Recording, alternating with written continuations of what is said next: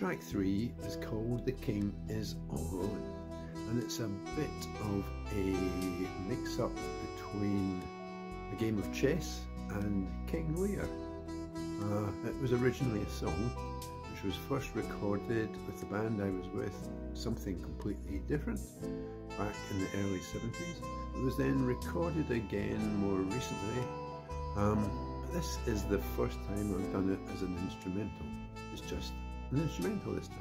But if you want to see some of the words, just hang on to the end and I'll put the lyrics up and have a look at it then. So this is called The King is All Alone, track 3.